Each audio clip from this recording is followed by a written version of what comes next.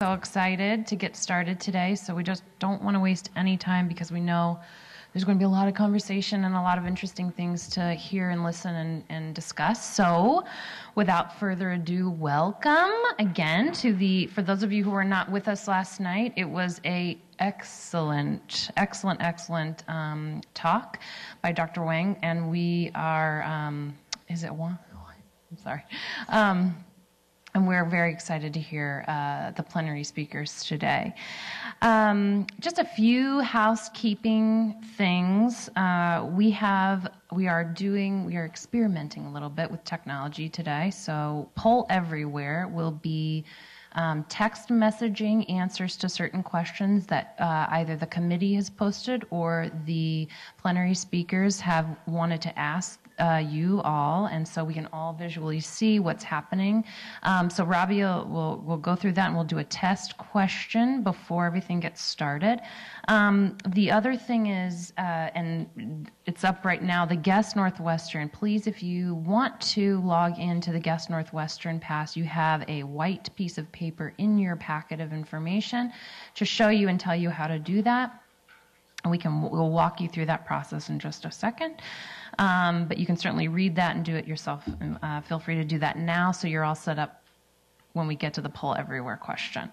Um, and the other thing is that I'm Erin Dragato, Executive Director of the Chicago Council on Science and Technology. And um, we're honored to co collaborate on this uh, second annual symposium highlighting the achievements of women in science in the hopes to pave the way um, while increasing the pipeline. Some of you may or may not know, and some of you heard this last night, but um, more R&D funded research occurs within the 300 mile radius of the Chicagoland area, and then the coast combined, and that includes Silicon Valley and the MIT area. So, um, as this is a st- staggering statistic, it makes sense if you take into account the, the national laboratories, the academic institutions, and the industry who all receive uh, this type of funding, literally in our backyard. So. Um, our mission, the Chicago Council on Science and Technology, is to raise the awareness of, of science and technology developments, pulling research out of the labs, showcasing it to the public, and um, uh, in, the, in and around the Chicagoland region. And we're glad Women in Science is a part of that process. Um, and we do this by partnering with all those major um, organizations that I've mentioned uh, national labs, academic, and industry um, highlighting current research and innovation in these fields. As you know uh, very well, that women in the sciences are very much a part of the landscape, uh, and in order to continue to broaden the spectrum of leaders in, in science and technology, we, along with our sponsors and organizational part- partners, are dedicated to making sure women are, women are part of that infrastructure. And I do want to um, say a special word of thanks to our sponsors, Argonne uh, Blue Star Energy, Motorola Solutions, Abbott, the Schriesheim Fund, Museum of Science and Industry Chicago, Baxter, Physical Sciences of the University of Chicago, Physical Sciences Division at the University of Chicago, Fermilab, uh, DePaul University, ARCS Foundation, Sigma Xi, AWIS, Association for Women in Science, and its um, uh, University of Illinois Chicago, Women in Science and Engineering, or WISE, and uh, University of Chicago CAPS, uh, Career Advising and Planning Services. And some have tables outside, so please visit um, those tables as you pass by for during our breaks and our networking luncheon, as they have great information to share with you as well. Um, so with that, welcome to the what is to be an exciting day. And um, finally, I'm just here to introduce a friend, colleague, and co-chair to this symposium, with, without whom uh, I would have probably passed out by now. um, Director of Science and Integrated Strategies at Museum of Science and Industry, Chicago, Dr. Robbie Amaeus.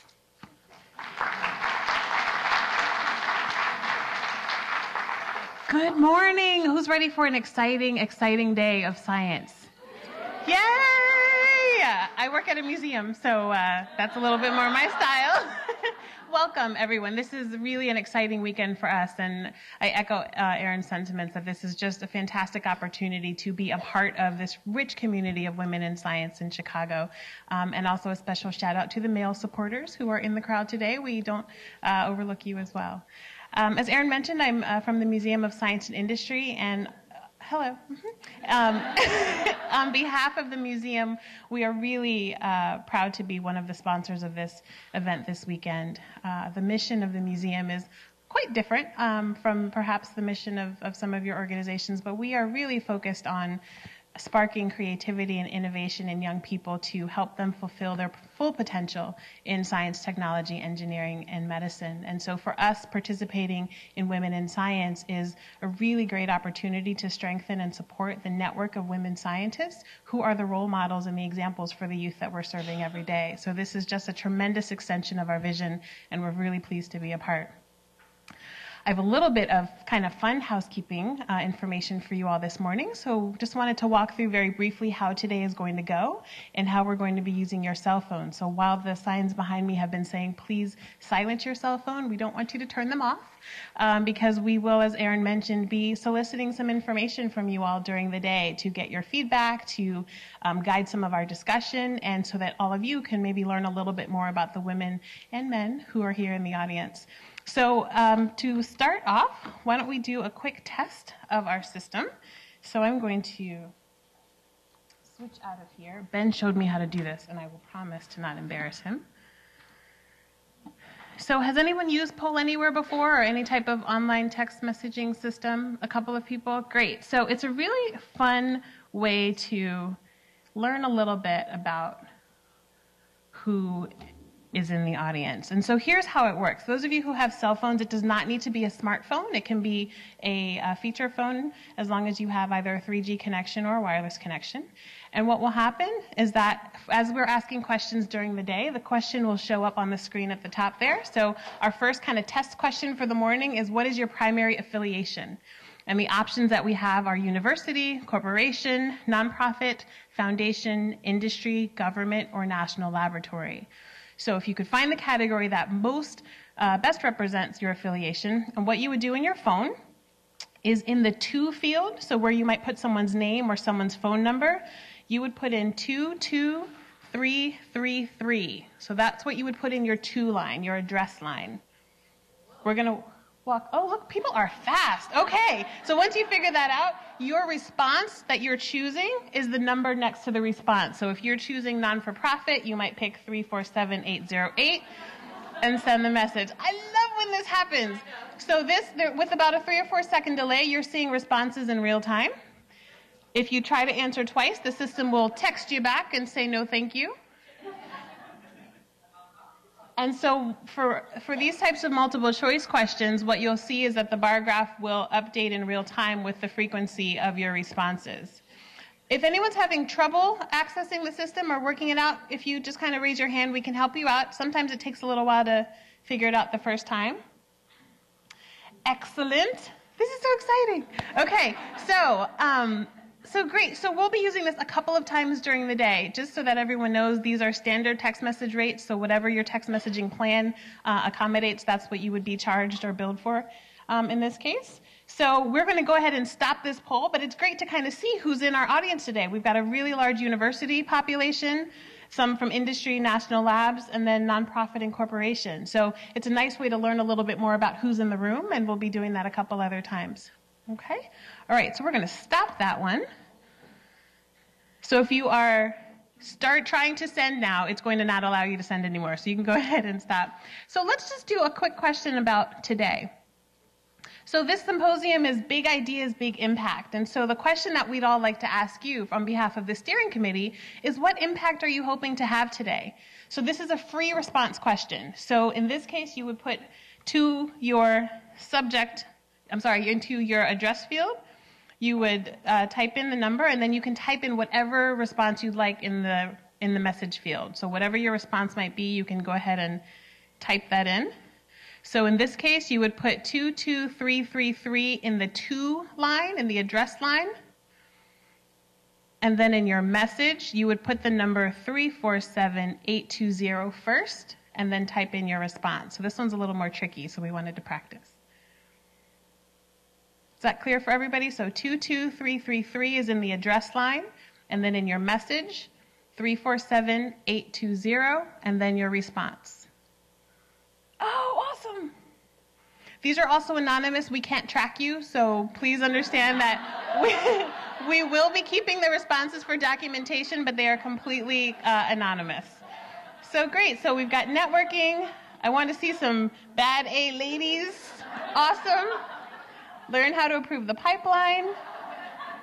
Somebody from AWIS is giving them a shout out meet some outstanding scientists. I want to. You all are doing a great job. I was a little worried. With kids, get this right away. Sometimes with grown ups, it's a little bit trickier. So, well done, ladies. Well done. Excellent. So, hopefully, everybody sees how this works. Again, we'll have some multiple choice, some free response questions, and we'll be able to kind of see what some of those are. Great ideas for mentoring, networking with amazing women. There will be lots of opportunity for that today. All right. So, in the interest of time, I'm going to go ahead and stop that poll in a couple of seconds. Oh, they're still coming. Okay, we want to capture them all. So, how about if you're still sending in responses, please feel free to do that. Let me give you a little bit of a quick overview on how today is going to run we have three really exciting sessions with three speakers each. And so each of our speakers will come up and speak for uh, roughly eight, 17 or 18 minutes, and then we'll have question and answer for each speaker individually. At the end of the third speaker, we'll invite all three of our speakers up to sit at the table, and then you all are, have another opportunity to ask questions of them as a panel. For your orientation, there are two microphones in the audience. There's one to your left um, in the stairs, so please be mindful of the stairwell. And then there's another microphone to your left here at the front on the bottom level. So if you have questions, feel free to come and stand up at the end of the presentations and form a small line. And we will have a member of the steering committee here to help direct questions as needed. Okay? Any questions? Ready to get started, right? Okay. I'm going to go ahead and close this poll and ask one more that is relevant to today's session one, which is entitled Game Changers. So, what does a game changer mean to you? In whatever field that means, whether that's in your personal space, in your work, in science, what does being a game changer mean to you? Again, your address line is 22333, and your response will be preceded by 347923. I want to get my phone and answer too, but. Changing the dogma. Making a difference.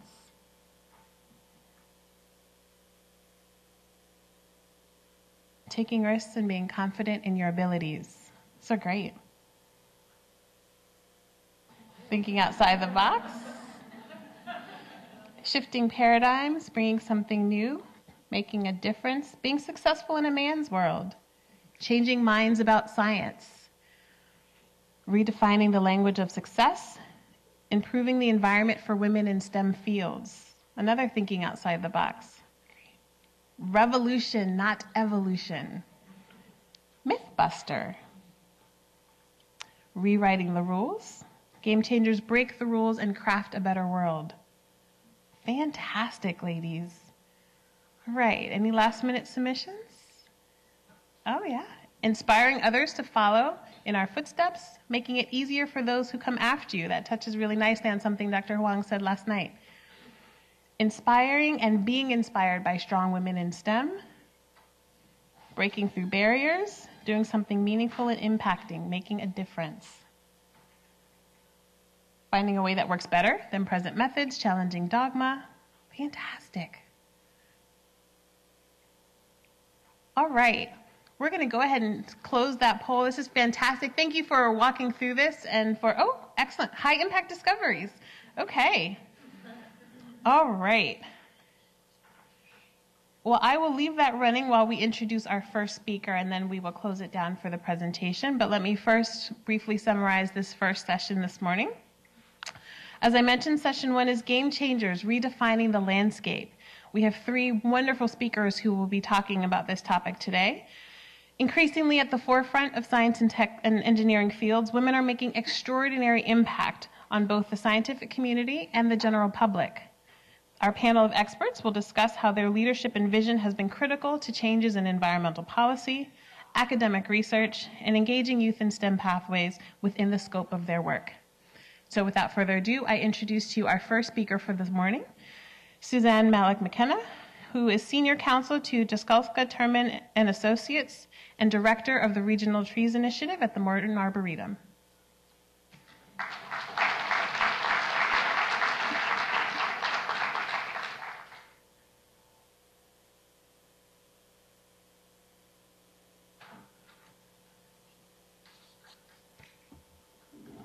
Howdy. Is this working? It is. See, we're already beginning with technology. That's exciting. Except my little clip came off, so I'm just going to carry it. How is everybody this morning? Well, I'm glad to hear that. Um, so I am going to talk this morning about um, some of the things uh, I've worked on when I was at the Department of Environment, how that's transitioning, those experiences are transitioning into the types of things I'm doing now. Um, what I think is, do we have a remote? Are we remoting? No? All right. Um, I'm going to start with uh, something that's been near and dear to my heart and something that is scientifically, politically, and um, community based. Uh, indeed, if it's going to be successful, and that's the Climate Action Plan. So I'm going to lay out some of the efforts we've undertaken, how we've engaged communities, and then how we're going to be applying it um, in new um, prospects. I think one of my key messages to you today will be, you know, as a scientist, um, what are you trying, we talked about game changers, what are we trying to change? And how, who's your audience, first of all, because if you're trying to change something, you can be in your little room, and that's great, but somehow you're going to need to communicate uh, whatever type of science you're working on. Uh, and if you want it to be a game changer, you need the results of what you're doing, either successes or failures, to, for people to be aware of those things so that you're sharing and extending knowledge about what you're working on. Um, so, so how do you communicate that? Um, I think there's a range of different ways, and it, it definitely depends on who you're speaking to. So I saw a few things up here about, um, and I see there are a few um, people of the male gender, so I'll only pick on you just a little bit. But depending on who you're speaking to, your message changes. It doesn't mean that the subject, the, the, the core of what you're trying to get across changes, but how you present it will. Um, we were just talking about that with this great team from University of Chicago. Um, that if we're if we're going to engage people, we need to speak their language and insert the message and the science uh, and the things we want to achieve through the, the, type of messages they'll actually listen to. Um, I was lucky enough to be at the Nobel uh, Laureate Summit. Uh, one of my gigs is just Jasculca Terman, and they, they worked on that. And so we had the Dalai Lama and Gorbachev. I mean, it was just mind blowing.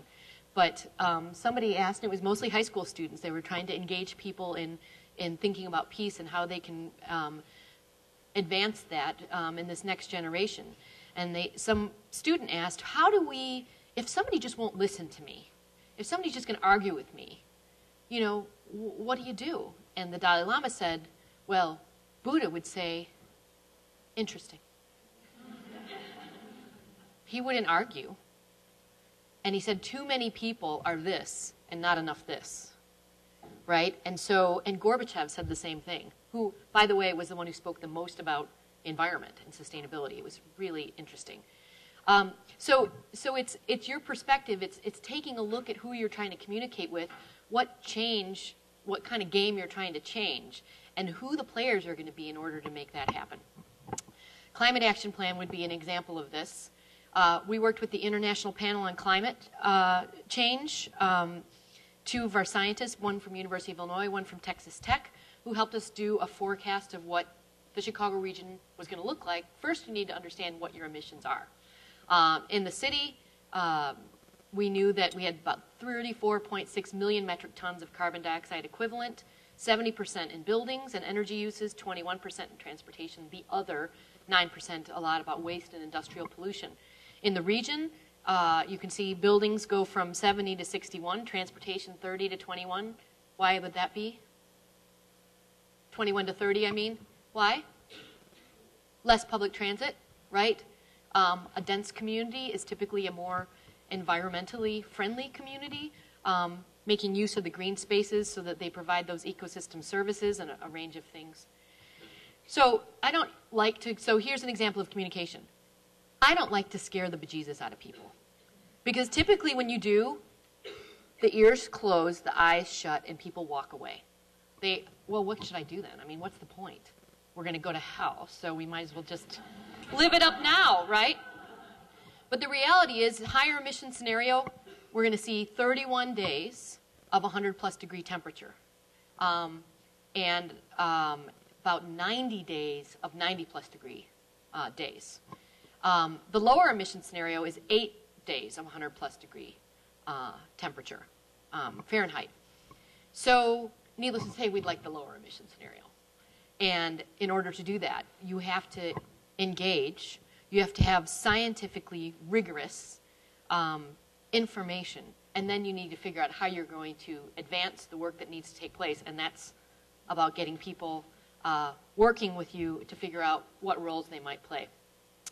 The goal of the Climate Action Plan is to reduce our emissions to 25% below 1990 levels by 2020, 80% below 1990 levels by 2050. Seems absolutely ridiculously daunting. I am a ridiculous positivist. So, hey, why can't we? And 2020 is a goal, you know, that's eight years from now. How, how can we get there? And in the first several years of um, effort, we're, we are seeing some benefit. Um, the economy has actually helped. Of course, you have less development and a range of things, but that's just a false bit of data, and we need to be thinking about where we're going to go with this. So that's our goal, um, and we were just talking about density. Um, as you can see, did I get a really cool laser thing? Oh, don't worry about it. I'll point. It's okay. I love technology. I love little light things. But anyway, I'll get over it. So on the left, this slide is about the concentration of carbon dioxide equivalent emissions in the city, right? If you look at per capita basis on the right, it's in the suburbs. It's in the collar counties. Energy use, inefficiency, uh, transportation, all these different types of things. So who's our audience? It's definitely the people downtown, but it's also a huge opportunity in the collar counties as we're looking at development, um, as we're looking at uh, the science that we're undertaking that's looking at renewable energies, et cetera. Here are the key things that um, we're undertaking through the Climate Action Plan. As you can see, 70% of our emissions are energy related. So needless to say, a lot of energy efficiency, improved transportation, clean and renewable energy advancement, uh, waste industrial processes, and adaptation, which I think is something a lot of people don't think about. When we started the implementation, our city departments, there were 20 departments and agencies saying, huh, What's adaptation? Because adaptation oftentimes is mitigation, um, reducing carbon dioxide emissions. But adaptation is also forecasting, all right, 20 years from now, what tree is going to survive? What trees aren't going to survive? What invasive species are going to come uh, to the region? And how do we prep for that? Um, so all those types of things, in addition to increased uh, water, rain events, etc. You're just, you just give and give and give. Thank you very much. I just have to, all right, got it. So when you think about adaptation, um, this is the 1990 hardiness zone map. Um, we were what's called 4B 5A at the time in the Chicago region. Um, certain types of plants live here based on temperature change, precipitation, etc. 16 years later, 5B 6A. We are Champaign-Urbana now. Okay, we are central Illinois, based on temperature, uh, based on a range of things that, that put together our hardiness zone. That's a problem. And we are now seeing species that we can grow here. And I went to U of I in horticulture, so I'm like, sweet gum, excellent. It's not excellent, it's a bad thing. Um, but it's also reality. So um, instead of saying, oh my God, we can't plant these trees anymore, what are our new species that we're going to be introducing as part of it? Water. I love this example because this is a women in science example. Uh, Janet Attarian at Department of Transportation is just a sustainability infrastructure rock star. And she pushed the city to look at green alleys. So, alleys that are more permeable. We waste a lot of our water sending it into the sewer system. Um, so, we tried all different kinds of things, but now we have permeable, asphalt, and concrete. That's also high albedo, highly reflective. We have a um, one mile example along Blue Island in Cermak. It's one mile long. Um, it has high albedo, permeable asphalt and concrete. All of the energy, the lights, etc., are um, solar. The, the, it's not connected to the sewers, so it's bioinfiltration and a range of things that captures the water and is used for the landscape and the local school, the nearby school. Um, my favorite part, because uh, it makes me sound scientific, is the photocatalytic concrete um, surface, which is able to grab the emissions for the first, I think it's the eight foot column, and make it benign uh, when it heats up and when, when there's solar engagement. If I describe that wrong, you can all take care of me later. But we now have 200 alleys. We have 2,000 miles of alleys in the city of Chicago, so we got a way to go. What we're finding is if homes then direct their stormwater to the alleys, we're only using one third of the capacity in these alleys. When we have extreme storm events, climate, uh, and other issues, we overflow our sewers. We get raw sewage backup. We have to open up the 220 outlets to the Chicago River, sometimes to the lake. These are important issues. And technology is helping design it. And as we do it, we're bringing down the unit cost price, the economics of it, to make it actually feasible. No matter what, you have to engage human beings, whether it's government, community, uh, corporate, what have you. So, how do we do that? Um, this is an example of an effort that we under uh, we, we started a few years ago called the Energy Action Network. As you can see, all those dots um, are uh, different types of activities. We've got all the little blue um, uh, triangles are Chicago Conservation Corps leaders. It's a program we started in 2006. We now have 300 people across the city, all different socioeconomic uh, backgrounds, all different careers doctors, lawyers, uh, janitors, all over the city. They went through five classes. They learned about air, water, waste, energy, and community organizing. Did asset-based development um, assessments, etc. And now they're carrying out work in their communities. And now, I mean, that's just that, that those dots are from a couple years ago. We connected those with our Chicago Conservation Corps after-school clubs, 90 mostly high schools and junior high level students and they're doing wastewater energy and doing projects in their community. Um, Field Museum, uh, through their ECHO group, um, Environment, Culture, and Conservation, a division of the Field Museum that's working on that community uh, environment interaction, uh, was involved with us doing ethnographic work, uh, really looking at communities in depth. Then you have Department of Public Health that's doing lead abatement, Department of Community Development doing a range of uh, emergency housing repair, all those groups together, and we linked them all. Number one, to reduce um, disconnections by helping them with helping residents with bill payment. Uh, number two, uh, by getting involved, getting people involved in doing energy efficiency. Um, and then starting to address other issues while you're at it. So if we are in doing lead, we started talking about energy and water and those types of things. Um, the volunteer aspect alone, in um, each year over the past three years, uh, these groups weatherized 6,000 homes each season. Volunteers, Conservation Corps leaders, Energy Action Network leaders, and conservation clubs, working with some ex offender programs um, that we started as well. 6,000 homes. Now, to be clear, they did about 8,000 homes, but we could track and demonstrate 6,000 of them. That's a lot of homes. And that was involving the community, and it's demonstrating. I get a little tired of the Emily Mead saying, you know, don't think that an individual can, you know, change the world. Indeed, they're the only ones that ever have. Great. It's true to a certain extent, but it's also, it's, it's to a lot of extent, let's be clear. But it's that community engagement, it's that integration of those leaders, and it's the development of new leaders over time that can make it happen. So you tell, oh, laser is not going to do it. That's not going to move my slides. This is. Other activities, we have a program called Roll Out the Barrel. I love that name. Um, anybody catch that? Hello? Everybody here? Um, and so uh, about 3,000 rain barrels have been installed in people's homes. These are 55 gallon drums. You can disconnect your downspout. You can do it on all four downspouts. You use that water to wash your car, uh, you know, water your landscape. Again, water that's not going into the sewers. Teaching people how to do it, getting people in the community involved in it, they become knowledgeable. They become ambassadors for the type of activities, and they make it accessible to the communities to undertake it. Another quick example is South Chicago. Uh, so we took all these things and we went to one community. Uh, this one community, got to remember this, 8,000 residential units on the southeast side in the Calumet region, uh, mostly low income, uh, mostly Hispanic, with uh, a couple sections of Haitians. Uh, it's, it's a very interesting community.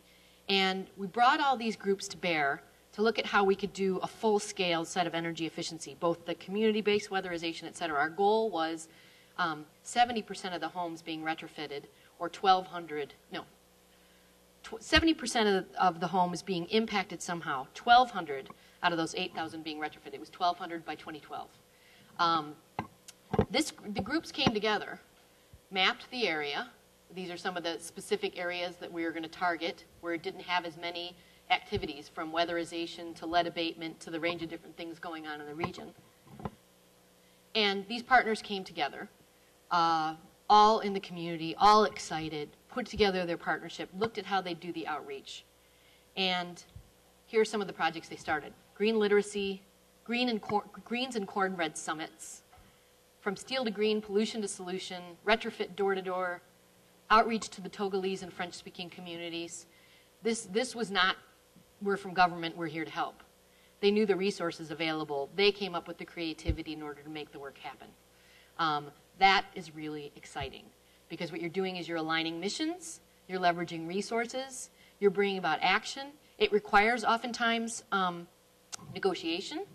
Um, you were supposed to give me two. Did you already give me two? Yeah. Damn. Okay. Um, da da da da da. Okay. Quickly, um, how do you apply this stuff? So I'm just, um, I'm kind of heavy into my dissertation right now. I'm defending on Wednesday. And, uh, whew, almost done. And it's about trust and coalition building amidst change in Chicago communities. So from the North Kenwood Oakland Bronzeville community where thousands of public housing units have been torn down, to the Polish community, which is seeing a major outmigration to the suburbs, to Forest Glen, a more moderate to upper income white community on the northwest side. How do they each deal with change? How do they form coalitions to make things happen? I'm now applying it to a new gig that I'm working on, the Regional Trees Initiative. What we're trying to do within the CMAP region, Chicago Metropolitan Agency for Planning, seven counties, is um, look at our tree population. Um, they are hurting. We have something called emerald ash borer that's in the next several years is going to probably five max kill all the ash trees in the Chicago region. 20% in the city of Chicago are ash. Um, it's a huge problem. Trees within one season fall apart, literally just fall apart because the borers go in and make the tree um, structurally unsound. Um, crisis is a terrible thing to waste. How do we take that and engage people around trees overall? climate adaptation, what species we need to choose. How do we all get together and have um, uh, a better uh, leveraging for acquiring trees? All these things can happen. Bring groups together, help them achieve their goals, whether it's a forest preserve district, a corporate landscape, a municipality that has hazard issues on their trees, on their parkways. Bring them together, have an economic driver for the nursery industry, et cetera, who are biting the dust with the, the dip in development. And then um, come up with a plan that helps everybody achieve their missions. Climate adaptation is a key aspect of that. So I'm going to ignore all that. Um, Happy Trees will contribute when you put together the leadership, lead an implementation strategy, and bring about peace and happiness. Um, so all I'm going to say about that and everything else is that in order to carry out this work, you have to look at those audiences. And, and my example up there is kind of crazy. Um, I like sloth. That's one of my favorite. Forever student. There's nobody here like that. Um, ex-offender, dentist, bus driver. You know, these are all the people that we need to engage to make things happen. These are the people that need to understand the science you're undertaking, the importance of that science, and why we need to continue to support it. And the process we undertake First, you got to get people to even be aware of what's going on. And I never use the word educate because I think that that is um, that's judgmental. You're, you're dumb, so I'm going to educate you. I'm going to raise awareness. I'm going to get the word about out. I want people to understand what's going on. Once you do that, can you get people to have a sense of ownership? Build those stakeholders around the work. Once they do that, can they engage in the discussion and ultimately can they take action based on that science, based on that data you have, to be the game changers, to change the way we're operating in the region and beyond, to make the things happen that we know need to happen. So that's what I have to say, and I look forward to talking to you later.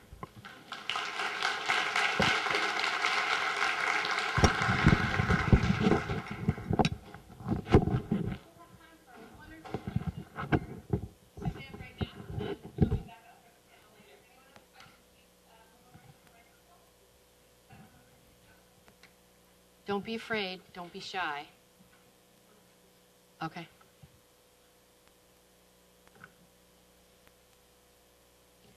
Nope. She's going to the bathroom. Get me some more coffee, will you? That's all right. We can talk later. That's okay. We'll heckle you later, okay? You're welcome.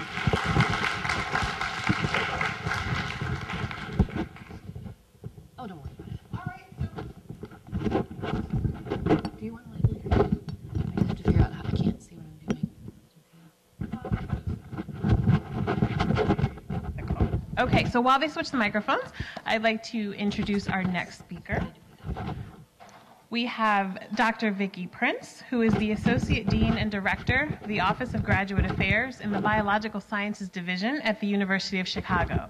And there is one question that Vicky would like to ask all of you. So while we pull that up, if you could get your phones ready again.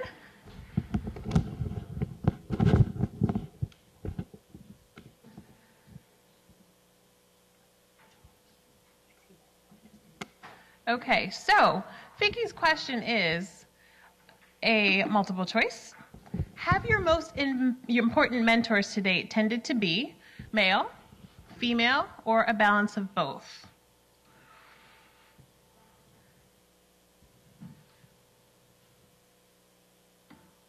There we go. Sorry, it took a little while. So it's the same, I'm sorry, the field, the address line will be the same for the whole day. So it will always be 22333. And then those are your codes for the options. If you like male, 33517, female, 33655, and a balance of both, 33718.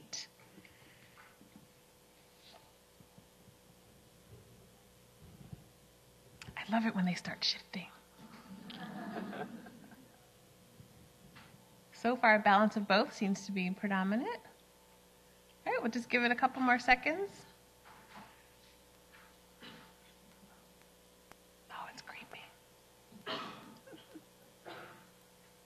Right, so it looks like we have a really strong balance, and then men and then women. So um, I will turn it over to Vicky and uh, stop the poll real quick and hear what Dr. Prince has to say about all that.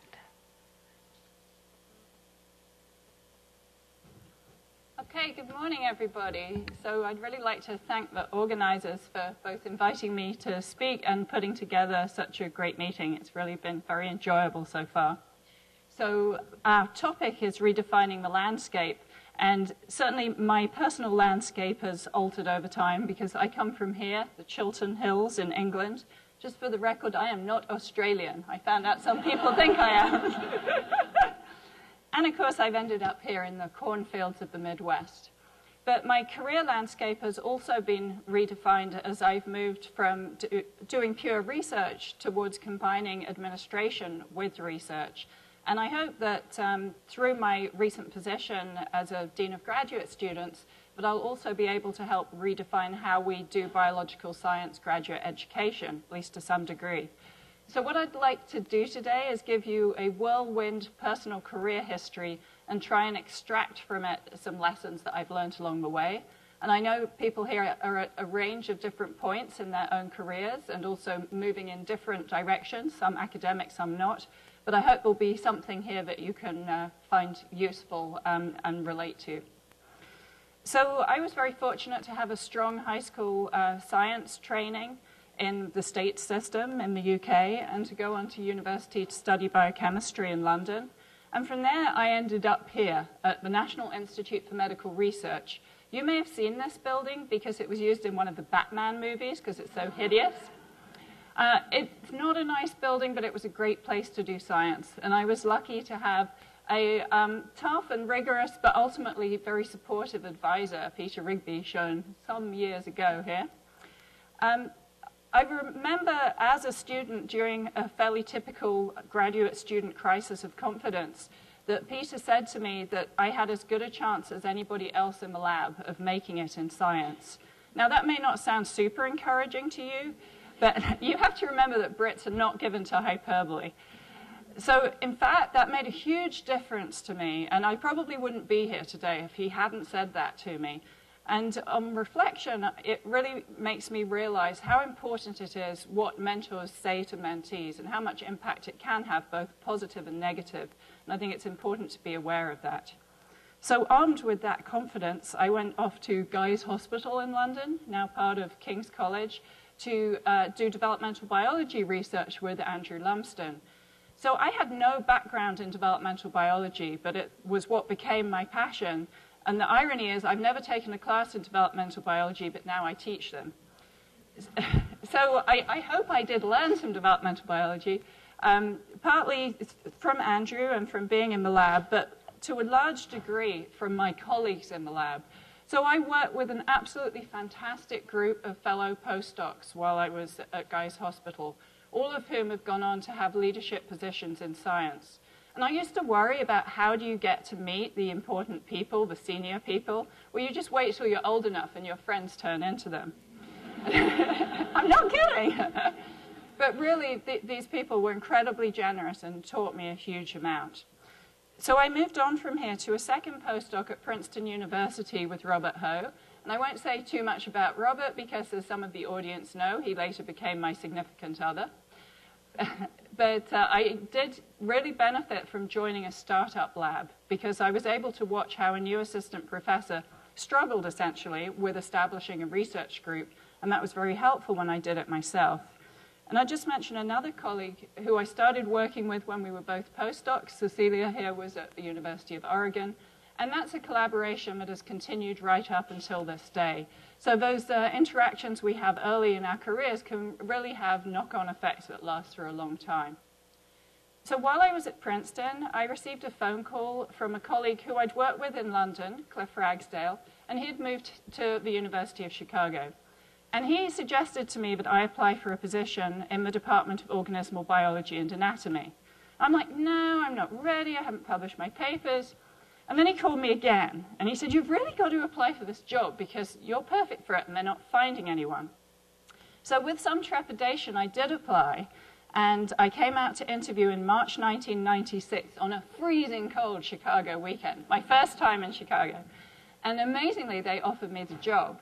So I know this is pretty unusual to have one interview and one job offer, and I was very fortunate. But I actually didn't realize quite how lucky I was, and I spent a lot of time worrying about whether I was making the right decision. And it was a long time because uh, I didn't come until fall 97 because I was finishing a fellowship. Pretty much as soon as I got here, I fell in love with Chicago and found that the university was an incredibly supportive place to work. So it was a, a great career move for me. And so I'm very grateful to Cliff for suggesting it. So I fell into assistant professor life, and uh, it's a huge transition. And I think the one thing I did that was smart was I spent a lot of time before I left Princeton and once I arrived at Chicago asking people for advice and really asking for help. And I actually think this is something women tend to do better than men. I didn't view it as a sign of weakness to ask for help. I just thought it was the sensible thing to do. And nobody ever said no. They were all more than happy to give advice or to lend me equipment or even reagents. So keep asking. So I didn't end up flipping burgers at McDonald's. Um, this is my current research group, but I've been really lucky all the way through to have great trainees to work with. And the surprise to me was that I found teaching and training people in the lab was actually the most rewarding part of the job. So when I did eventually get tenure, I pretty much immediately volunteered myself to um, chair our committee on developmental biology, which is uh, one of our graduate training programs. And one of the reasons I wanted to do that was because I'd had great students from that group, and I really wanted to give something back to it. And I rather arrogantly thought that I could do a better job of administering it. And I based that on the fact that I'd run some regional meetings and they hadn't been complete disasters. but I, I think it, it, did go pretty well. And uh, during those next few years of running the committee, I really learned a lot about doing administration while not spending too much time on it. I also um, was successful in getting a new training grant for um, helping to fund the program, which was another good experience. And my own research kind of spread in different directions and let me link up with a variety of different graduate programs. So I understood how these different programs worked, and I think that was very helpful in making me qualified to take on the job I have now. So I'm Associate Dean um, and Director of the Office of Graduate Affairs, and I've been doing that since June 2010.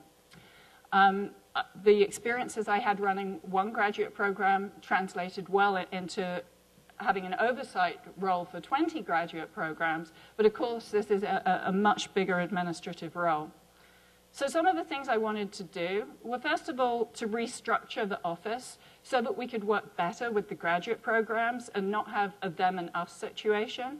And this is something that I think has gone quite well in the last two years. Another thing that's really important for me, but is definitely still a work in progress, is trying to broaden the training perspective. So to some degree, this comes down to changing the culture at the university away from believing that all our PhD students ought to go on to be research professors. I think that's a pretty unrealistic thing to believe, and we need to do a much better job of training people and exposing people to the variety of careers that they can use with their PhD. So one way we're doing that is to bring back alumni to talk about their own jobs and hopefully to provide both information and networking experiences for our current students. I also wanted to increase transparency and seek input from faculty on decisions because I think people um, are much more accepting of decisions they don't like if they understand the rationale behind them. And that takes time, but I think it's the right thing to do.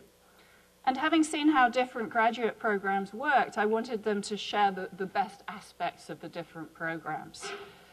So uh, the challenge in all this for me is trying to balance the needs of running a research lab with being an administrator. So what, one thing I had to do was to give some things up. And the thing I gave up was my undergraduate teaching, which I have to say I really miss, but it was definitely the right thing to do. I wrote this down, and I think that's a really good idea. I'm going to start doing that. so um, a general message, though, which somebody told me this as a new assistant professor, and I think it works at all levels. You've got to be really important not to let the urgent push out the important. So I get constant semi-crisis emails that I need to respond to. But if I don't take some time to think about the broader picture, and that can be in research or administration, then you never really get around to changing anything. So I, I, really advise you to try and carve out a proportion of your time. And it's probably going to be 10% or less at any point in your career to think about the important things. And I'd just like to mention here that um, sometimes women in particular feel that they're asked to do too much service, probably because they're rather good at it. And uh, I also hear people complaining about women not being put into leadership roles.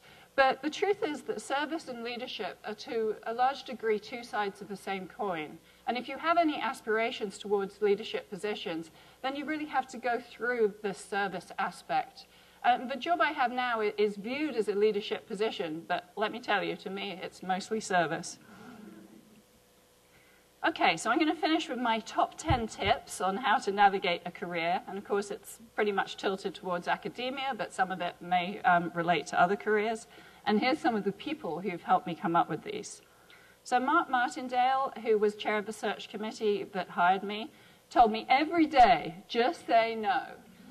And what he meant was do not get sucked into doing too many um, boring committees that aren't really important. And that was excellent advice. And I would go to the department chair and say, Do I really need to do this when people would ask me to serve on committees? And a lot of the time he would say no. And of course, I'm grateful to him for having been supportive and, and you know, supporting me in not wanting to do some things. The corollary of this, though, is to do the things you enjoy because you're probably going to be good at them, especially if you think they're important. So for me, the first of those was to volunteer to run the Committee on Developmental Biology. And the second was to take on uh, establishing a new undergraduate course for students who come in with a grade five in advanced placement biology. And I was supported in this by Jose Quintans, the master of the college. And these are fantastic students. It was such a pleasure to teach them. But by doing these two major things, running a graduate program and running a course sequence, I could say no to just about anything else. so I really recommend you volunteer to do stuff you want to do because it gets you out of the other stuff.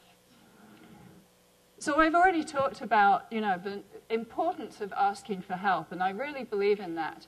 But I'd just like to say here that you need to help your helpers to help you. And I learned this from Chip Ferguson, who um, is a terrific scientist and mentor of many young um, assistant professors. And he read all my first grant proposals and uh, even manuscripts. But he taught me very sweetly that I needed to give him time to help me. I had to get him drafts early enough that he could give feedback and I could incorporate it. So do ask for help, but make sure that you ask for it in the right way. Cliff Ragsdale, he's the one who called me up and said apply for the job, has told me to practice winging it. And it took me a while to work out what he was talking about. But I think what this really means is have your kind of elevator speech about your research ready, because you never know when you might actually need it.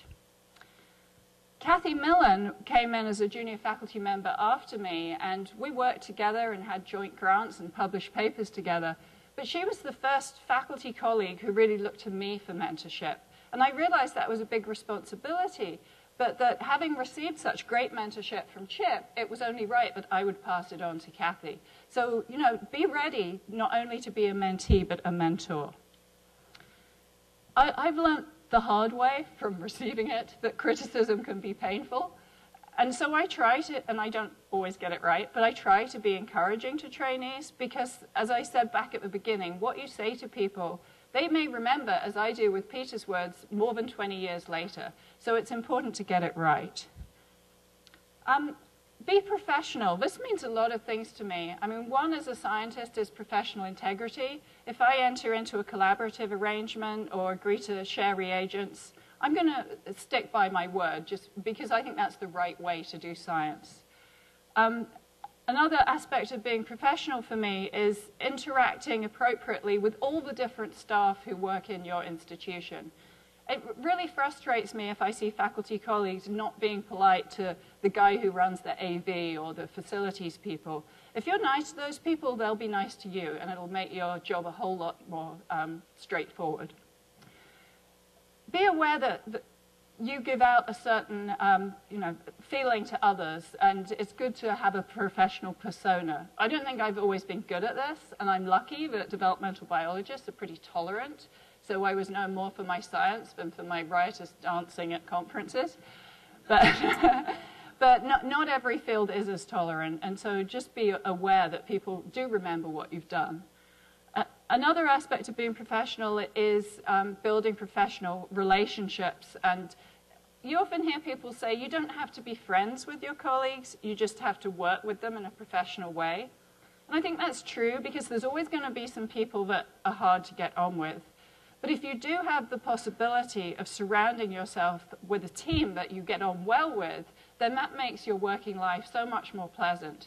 So, a nice example of this for me at the moment is Diane Hall, who's the executive administrator who I hired for the Office of Graduate Affairs. Diane herself is so professional that if she didn't like me, I don't think I'd know, but I like her, and that really makes that just makes the, the many hours we work together more pleasant.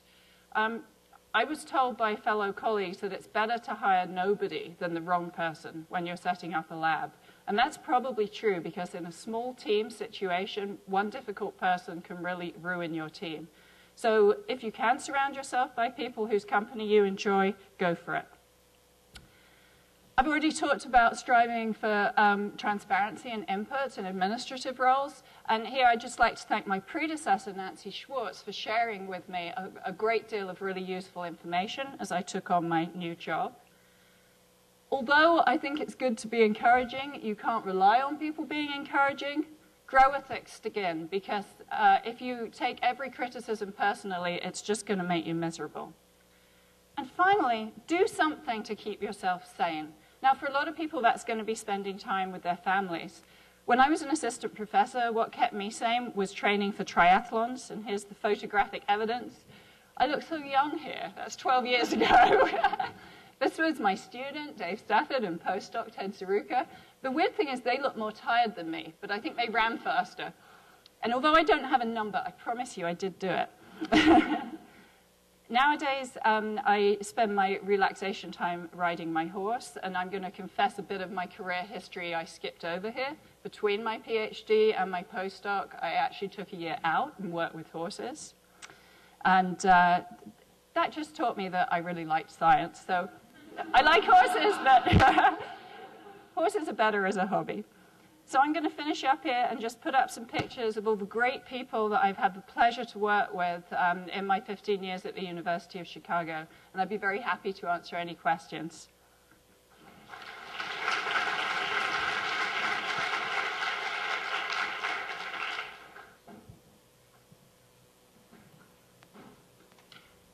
And I should just say that as that was kind of a personal narrative, I am quite comfortable if you want to ask me personal questions.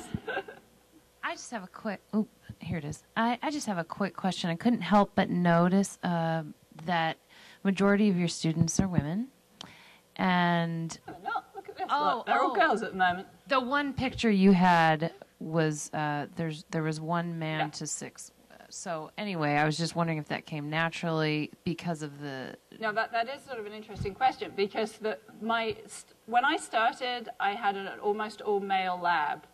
And I kind of struggled with that because I didn't have any brothers, and there was all this sort of testosterone charged atmosphere that I had to deal with. And they actually almost had a fight one time, which I found quite terrifying. They didn't.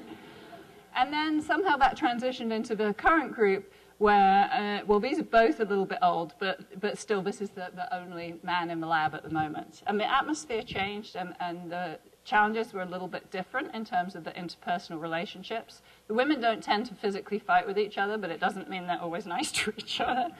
And I, I don't know why that happened, but I think when I had the male lab, more males wanted to come to it, and once it had transitioned to a female lab, the opposite was true. And, and both have been great, but both have had challenges. Hi. As you um, transitioned into your administrative position, um, how did you deal with your colleagues in this in the same department um, as you moved along? So I think my departmental colleagues have actually been really supportive. They kind of like the fact that I'm in the Office of Graduate Affairs because they're probably hoping I'll give them preferential treatment. It, it's not going to actually happen, but um, it, it, means that they have a, an easier means of communication to an office that they feel is very important to them. So I haven't had any kind of um, you know, negative feelings from my local colleagues. They've just been very supportive. Although a few of them have said, you know, you're crazy to do this because it's such a huge job. But on the other hand, they've thanked me for wanting to take it on. Um, I, I, uh, I just wanted to make a couple of comments. It was a wonderful talk, and particularly since I've also been at the University of Chicago, I could kind of get the, uh, get the mood. I'm just um, a couple of small, small comments. When you were talking about uh, how important it is to be nice to the support people, secretaries, cleaning crew, one, uh, one additional um, that all of us experimentalists um, need to be concerned about, be nice to the machine shop. Yes. Uh, you depend on them, and if Yeah. particularly if you don't give them emergency jobs every other day, uh, they're going to be nice to you and co- cooperate, and you can't live without them. Uh, so that that's one important um, part. then you also mentioned the importance of keeping yourself sane. And that I appreciated very much because one of the things when I have my breaking days, when nothing in the lab goes well, um, I, I, have been going to the University of Chicago has lunchtime concerts uh, in the music department, and they last 45 minutes, and it's a fantastic, um, the therapeutic to to just uh, just get out of the lab uh, and, and uh, refresh yourself. And thirdly, um, again, this is a response to one of the um, remarks that you made. The students who, uh, who may not want to be um, research scientists, um, we, uh, with the AWIS, and there are representatives here from AWIS, used to run um, uh, a job counseling uh, seminar every year for for um, senior year chemistry major students. And in each year, I participated in it for many years. In each year, um, they forgot about government jobs. Um, they applied to either industry or academic, but nobody bothered about. Please consider this is a very important uh, part, and they hire women, and they tend to be relatively nice to them. Um, you know, keep it in mind that the government does offer jobs to science people. Yeah. That's a good tip. We will bear that in mind.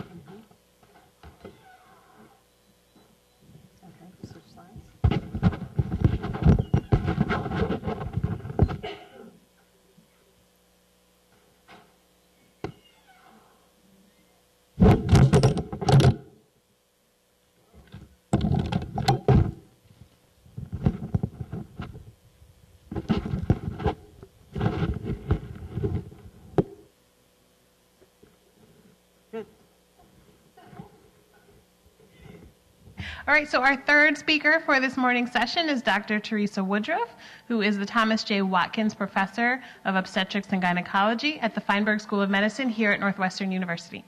Thank you very much, and thank you to the organizers for inviting me to this Game Changer event. It's really great to have been a part of the two of this session and hearing the first two speakers.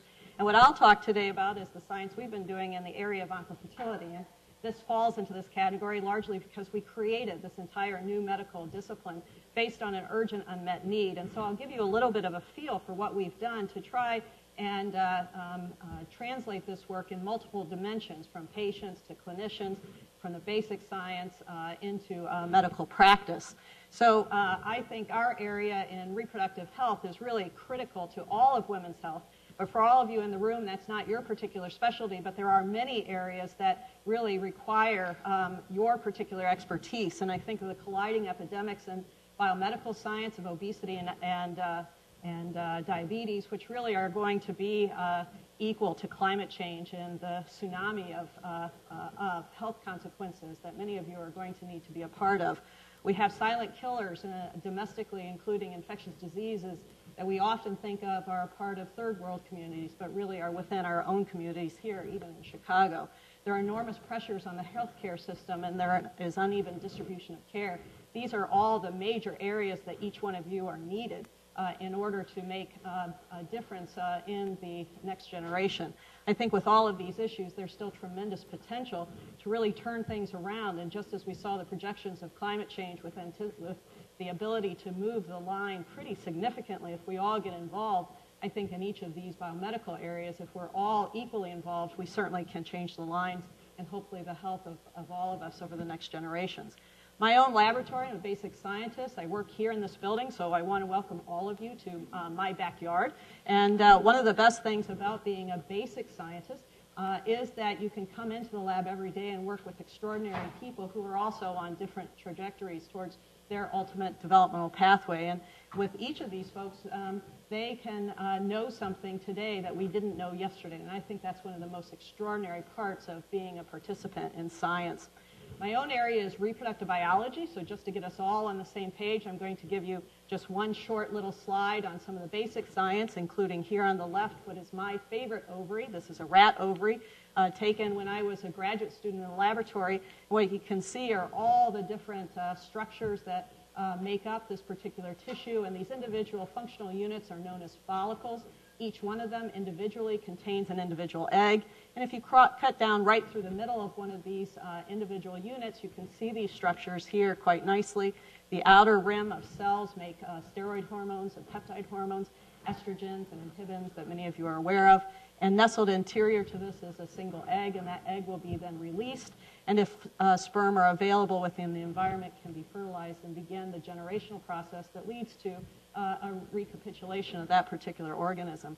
So gonadal physiology really supports um, um, the uh, fertile function of the individual, but it also supports the endocrine health of the overall um, individual.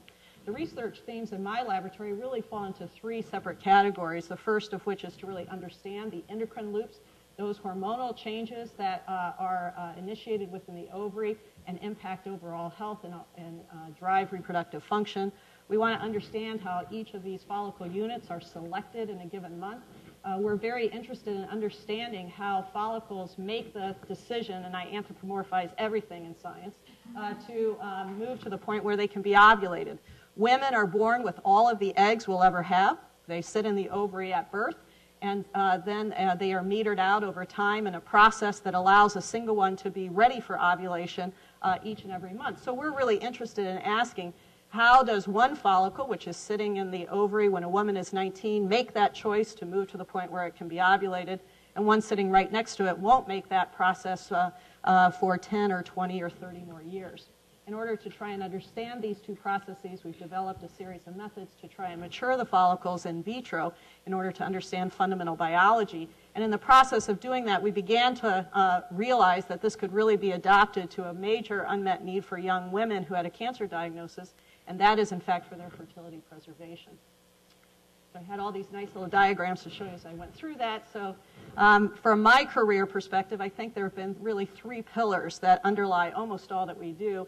And part, part of this came from my training in, in the academy as a graduate student and secondarily as a postdoc in uh, Genentech in the late 80s and early 90s. So really having uh, those two fundamentals as part of my didactics led me to really understand that interdisciplinary studies really were the way to go, that we needed to involve uh, advanced technology to solve problems appropriately, and that we needed real-world applications, or that was really where my passion lied, uh, in terms of taking this information from the bench and translating it into human health. So the particular short story that i have selected to discuss with you today is in this area of oncofertility.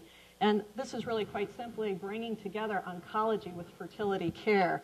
So we know that there are a number of life-preserving treatments that have been developed over the last um, 30 or 40 years, uh, including uh, many new chemotherapeutics and aggressive use of radiation as well as invasive surgery that's increased the survivorship of cancer patients, not only domestically but around the world. But it is also the case that many of these treatments can also have the unintended consequence of causing fertility threats, including sterilization in men and women. So there are about one and a half million newly diagnosed cancer patients every year in the United States. And of that number, about 10% are within the age range when they might be thinking about planning a family or still rely on the endocrine support of either the testis or the ovary for normal overall health.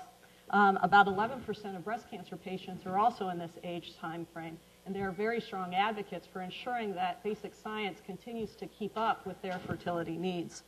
Uh, back in about 2005, the real state of the problem was that there were options for men, and this was largely um, sperm uh, banking, but these men really often weren't told about the fertility threat of the treatment. So an issue for them was really education and navigating them to the place where they could have um, fertility-sparing options. Young women with the same hope for survival as their male counterparts uh, weren't being offered any kind of fertility uh, options, and there were really three main gaps an information gap, a data gap, and an option gap. And about that time, the National Institutes of Health came out with the roadmap grants. And in fact, I think these were one of the most profound and innovative programs that has come out of the NIH in a number of years. And what these grants asked the scientific community to do was to tell us what the most intractable problems of our day are and how you would solve them using teams. And at the time, I was the basic science director for our cancer center. But it was really a basic, I was a reproductive scientist. So I think one of the reasons I was in that role was largely because of administrative skills. And uh, yet I could see that there was this enormous problem that nobody was really um, working on. So um, the road to normal scientific discovery is, is usually crooked, and the notion of the roadmap was that we could have a, a map that allows us to get um, from the crookedy, uh, road to a more straight and narrow road. And I think, in fact, what we've been able to do is we have um, made the road a little bit straighter and we can see our destination, but we certainly still are on that road. So oncofertility is the term that we coined in order to um, show this area of uh, work would be uh, important. And because it was interdisciplinary and because we really wanted to impact patients directly, uh, we also looked around for a ribbon that would represent this area. And so um, when I went online to look for all the ribbons, it turns out that all the colors had been taken back in 2005. So I had to think a little bit creatively and recognizing that this was really an area of interdisciplinary, interdisciplinarity, thought that we could really use two different colors to represent the, um, the area. So the little green is the spring green, eternal hopefulness of tomorrow, and the purple uh, is the deep resonant of person and selfhood. And we also have two different symbols within the uh, ribbon. The little dots here uh, are really emblematic of embryo, sperm, or, or eggs, depending on your particular interest. And these little dots sweep up into the ribbon structure, but our ribbon as you can see, is slightly expectant. And so this gives us really the iconography for a field because, again, remember that nobody was thinking about this in, in 2005. So we really have to create from the ground up an entire area and get clinicians, patients, um, and our basic science colleagues all involved. So I'm just going to take you very briefly in a single slide through each of these areas. So let's start with the patients, which is really where we started. So we thought that, in fact, we needed to provide options um, uh, in real time. And so for males, the real issue for them was uh, a non-issue uh, in some ways. It is that we could bank sperm very easily, so we needed to navigate them very quickly to uh, urologists so that they could provide a semen sample. And as you can see, sperm are available in large numbers, unlike women where we have a single egg that's uh, maturing each month. Uh, every uh, heartbeat, there's about 10,000 sperm that are being made. And so there are quite enough around. When I tell the high school students that, that's usually a really good contraceptive. When you think of one per month and 10,000 per second, the odds are really against this, the egg. So uh, that's a really good comment. So for the men, we really needed to set up navigation portals. For women, the issues were a little more complicated. Unlike the sperm that you see flitting around here somewhat aimlessly, and that's not really a pejorative, I think that's true. What you, these, uh, these sperm are really the smallest cell in the body compared to the largest cell in the body, the oocyte.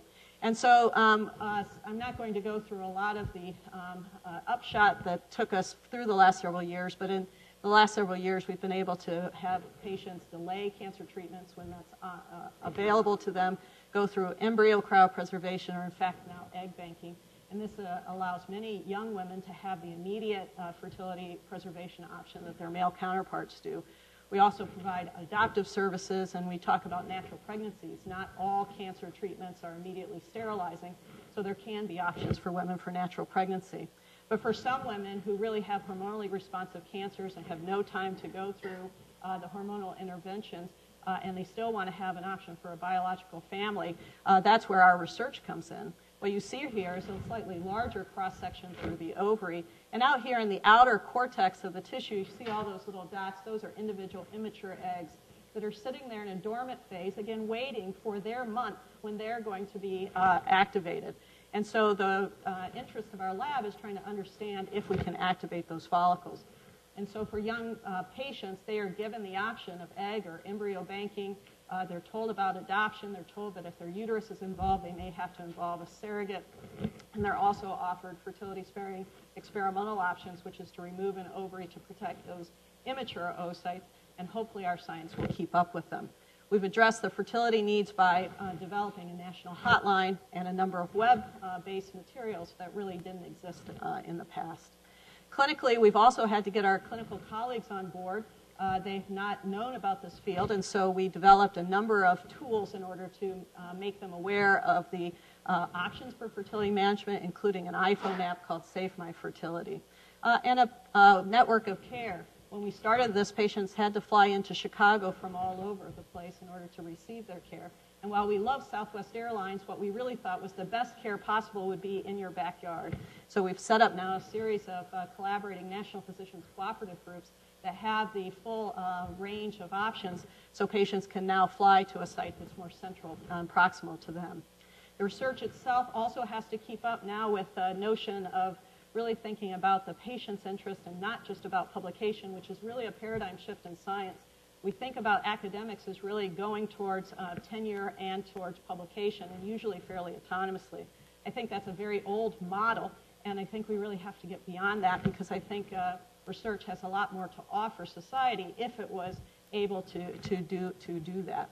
We've uh, engineered an artificial ovary using a material called alginate. It's a product of seaweed, and uh, it's a biomaterial that allows uh, biological samples to be embedded in it uh, in these little tiny beads. And this was in collaboration with a bioengineering scientist, uh, Lonnie Shea, who's a, a, good friend of mine. I didn't end up marrying him, but my postdoc did. So I'll say no more about Lonnie Shea either.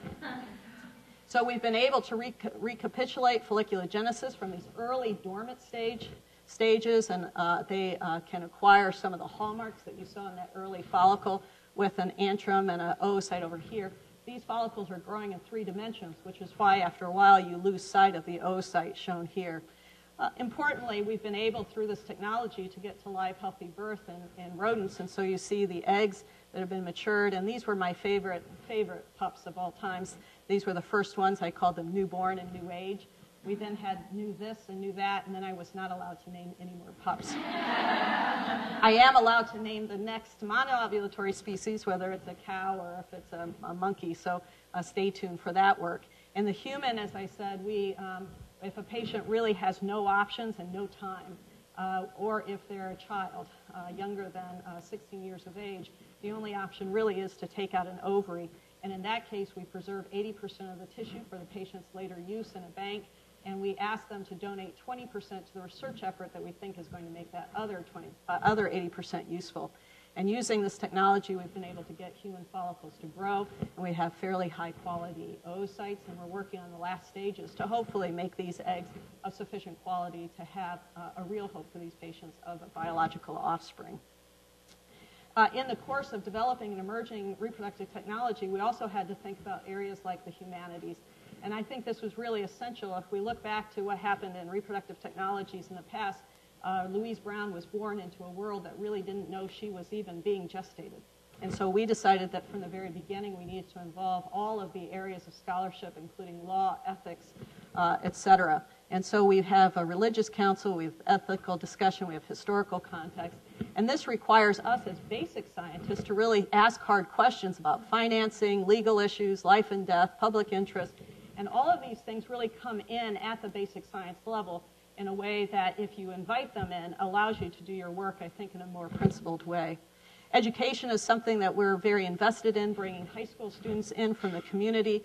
And everybody thinks that hormones are really complex and I can't really think about them, but they can be taught. And in fact, these are two of our students uh, who've been in our high school program, one of whom, Nicole Miles, is graduating this weekend from Smith, and I'm going in for graduation. We uh, educate at all levels and we educate both sexes. So we make sure that everybody is involved in the process of follicle development in some way. We also have expanded this from the laboratory based work to over 1,300 students here in Chicago and around the nation in this curriculum that we've uh, uh, developed called New Bio. And our hope is to develop the next generation of clinicians, scientists, and leaders because we think that the pipeline has to be full and has to be diverse in order to solve all the problems that I described at the beginning. So by integrating patients and clinicians, basic research, ethics and humanities, uh, and education into one continuum, we think we can be game changers along the way.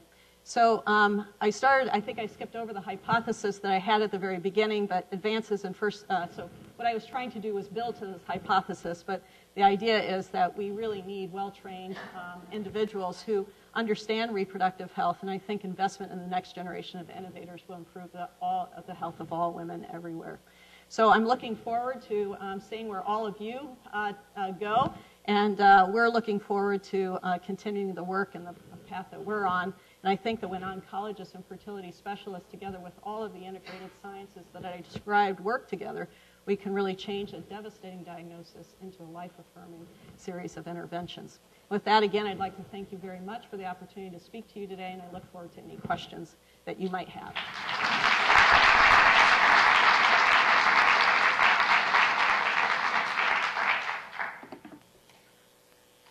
What would you say were maybe the, some of the turning points or milestones that you encountered in your career that brought you to where you are today?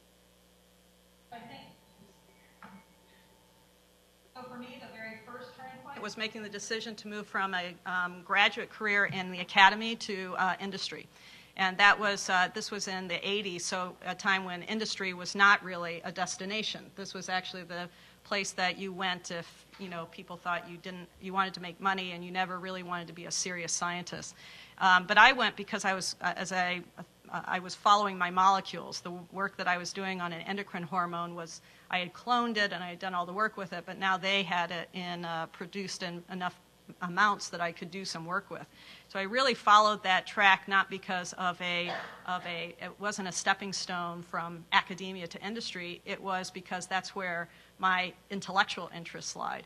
And so I stayed there for about six years, and um, Genentech was bought out by Roche. And so at that time, I could reevaluate: is my scientific passion still here, or is it really lie in kind of hypothesis based experimental studies. And so the next paradigm for me, or the next big breaking point, was to make the decision to come back from, the, from industry to uh, the academy. And as hard as you know it was for people to get their arms around the first decision, it was very hard for the second decision because they really thought uh, scientists in industry had no brain; they only had pocketbooks. And so uh, I was able to make the case that um, I would be a good scientist, that I could compete for grants. And, and now there's a lot more back and forth between uh, the academy and industry. But I think those were two pivotal points along my career trajectory. And then uh, since then, I've largely risen through the ranks in the ordinary way through service and publications, et cetera. All right, with that, let's give Dr. Woodruff another hand. Right. So we have about 10 to 12 more minutes, and this is a time for all of you to ask questions that you might have of any of our panelists from this morning. It's been a really exciting morning. Uh, we've heard quite a bit of diversity, both in the content area and experiences of our presenters. So if you have questions for any individual presenter in particular, please feel free to address it to the individual. Um, if it's for the entire panel, you're free to do that as well. And just get cl- really close to the mic Yeah, just when you ask. really we're, close. We're, we're recording, so we want to make sure we capture everything.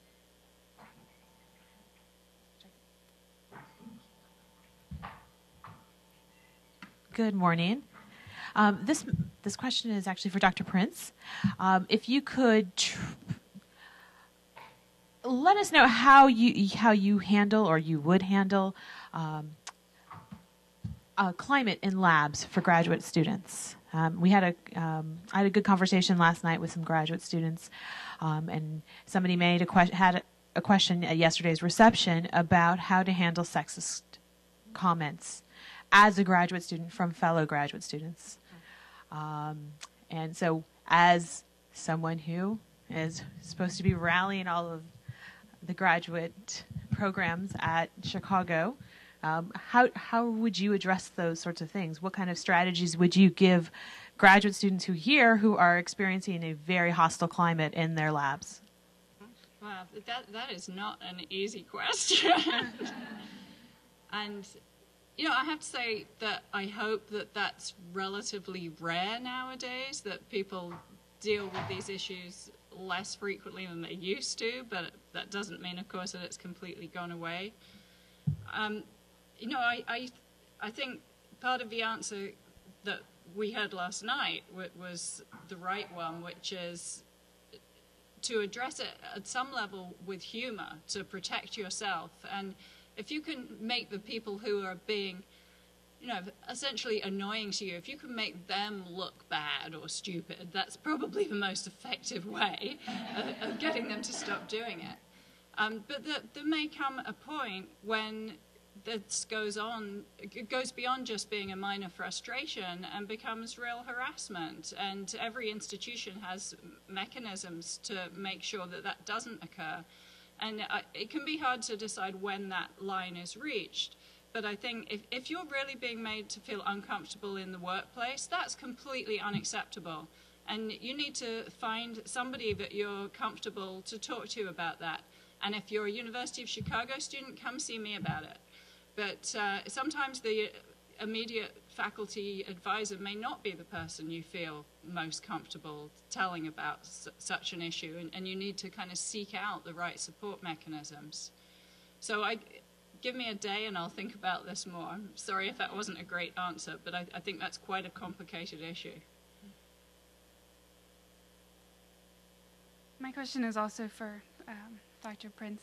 So as a as a senior graduate student, I've looked back on my career, and one of the things that I feel is lacking at the level of graduate school is a sort of standardization of mentorship among graduate students.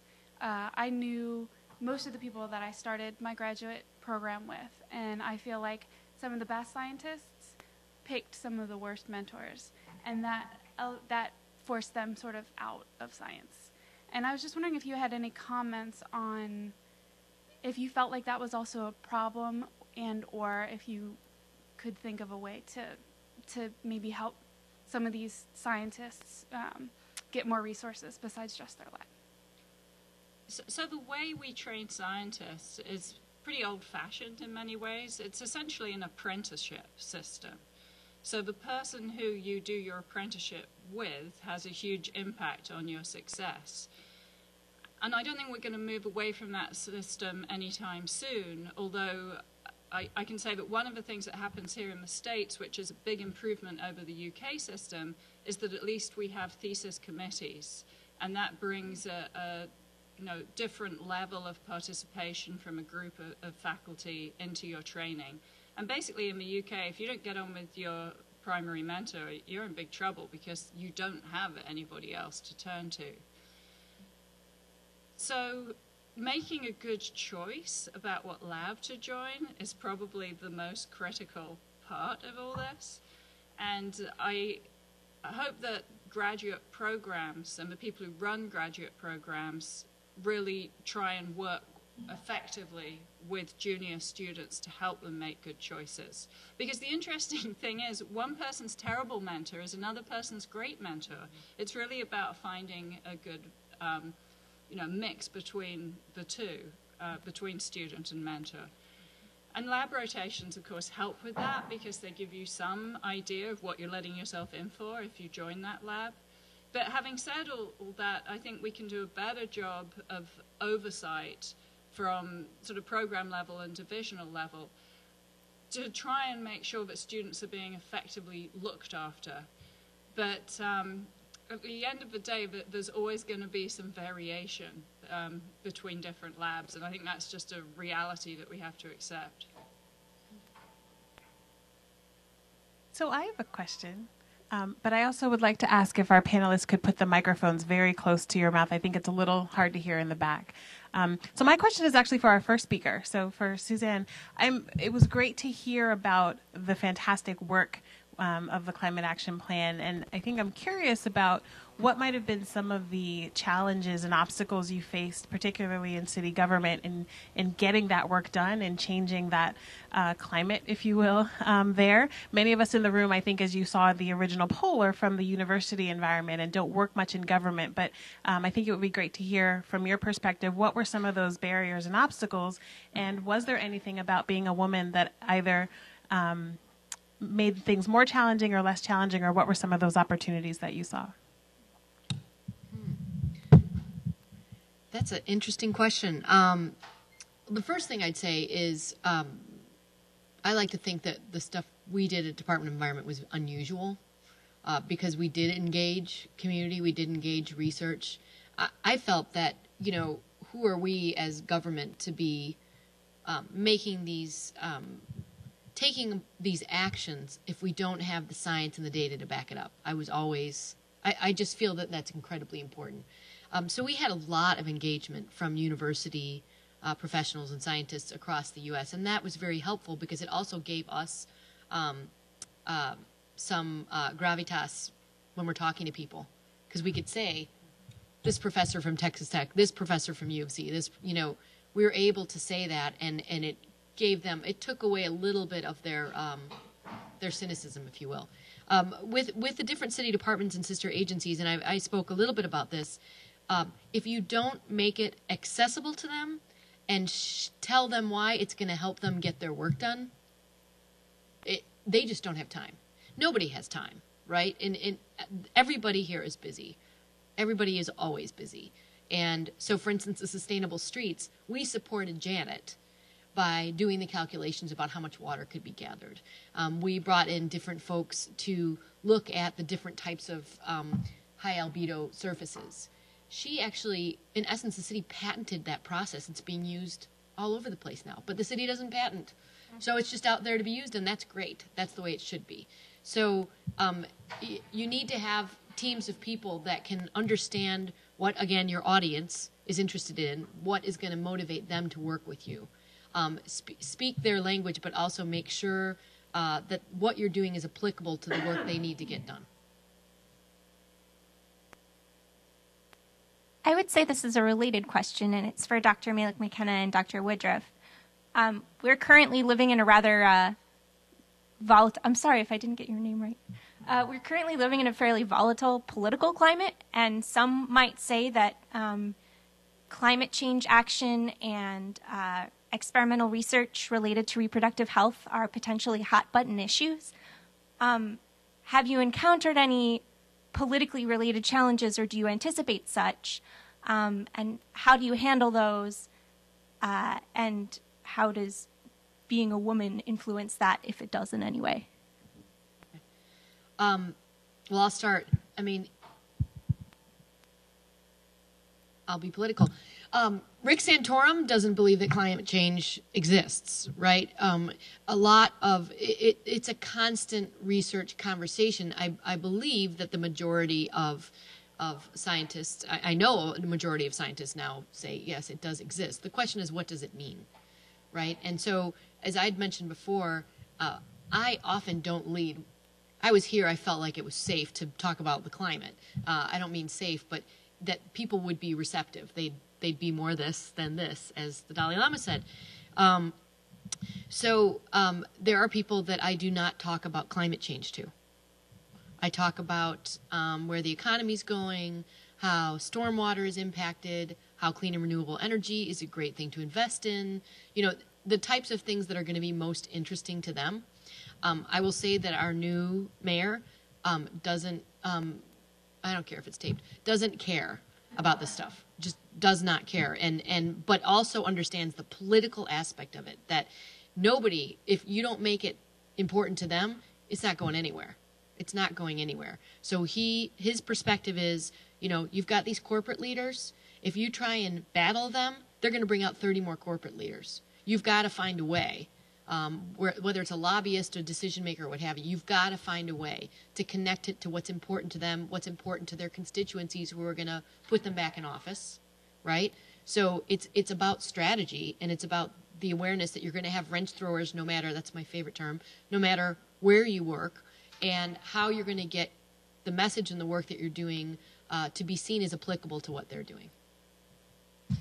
Yeah, I, I, think it's an important question. Scientists used to be one of the professions that was most trusted, and now it's one of the least trusted professions. And I think what we each have to do as um, scientists is is to have a message ready on any topic and uh, have a way to communicate that effectively. In the reproductive health sciences, you see this really changing very dramatically.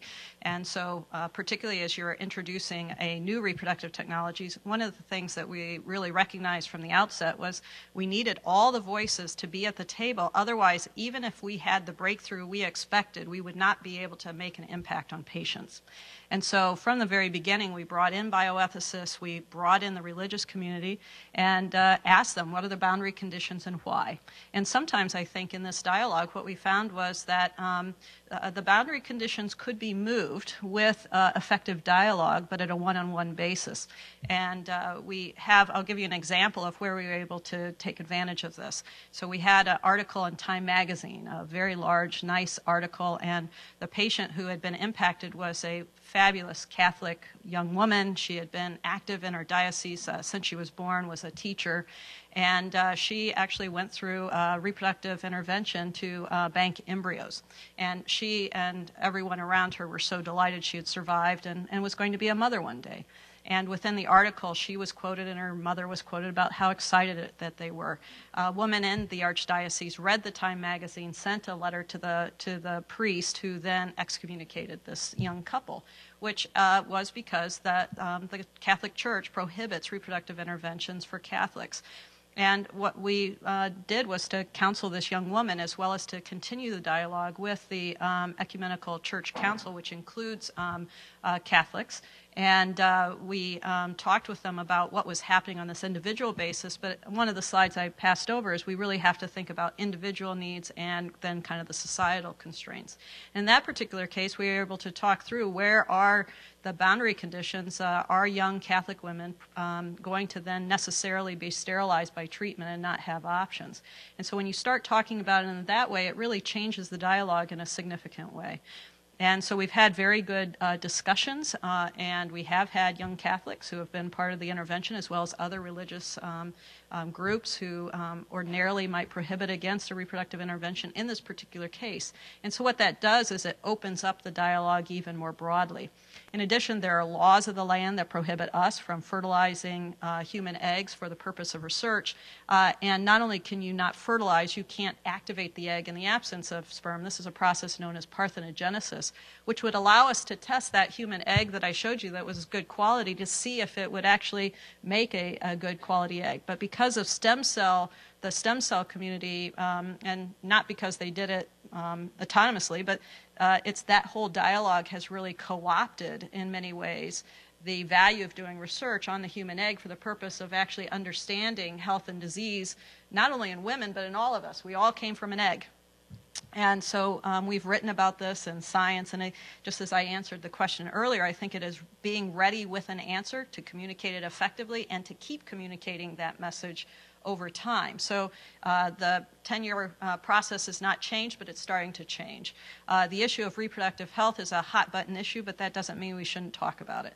And I think all of these things are part of the landscape for science in general as we continue to have to become uh, and, and um, we have to communicate that we are an authoritative voice. And part of that is saying we don't know everything here's the limitation of what we know and don't know. And I think if we, if we uh, provide uh, the public with that, and here's what we're doing to try and understand the next step, I think they're very willing and ready to go with us down that path. It's just if we talk in absolutisms, then I think there are people who will be willing to poke a hole in it, even if what we're saying is absolutely correct.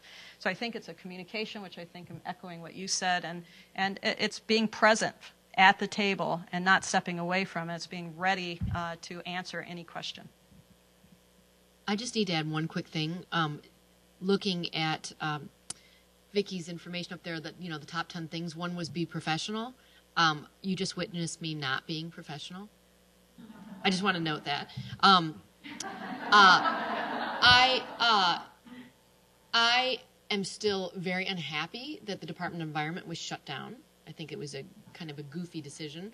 Um, so for me to say the mayor doesn't care about something is incorrect. It's that it's not a priority.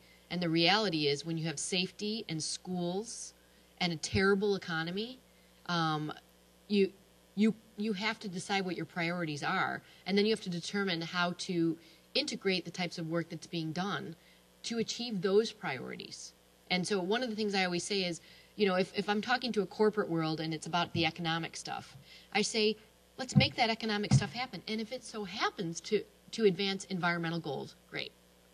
So it's how it's presented um, and how it's integrated where it needs to be done. Okay. Let's give another round of applause to our panel. thank all thank you very much for your expertise and a really great discussion to kick off our morning. We are now going to have a morning break. We are just a little bit behind, so it is about 11:14 now. We will meet back here to start again at 11:25. So that gives you about 10 minutes. All right, thank you.